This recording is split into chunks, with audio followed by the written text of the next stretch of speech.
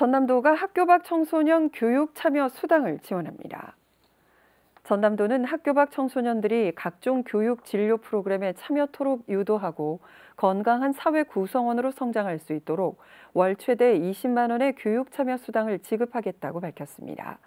한편 대상은 전남도 내 각 시군 학교 밖 청소년 지원센터에 등록된 만 9세부터 18세 이하의 청소년으로 센터에서 제공되는 프로그램에 월 6회 이상 참여하면 매달 지원받을 수 있습니다.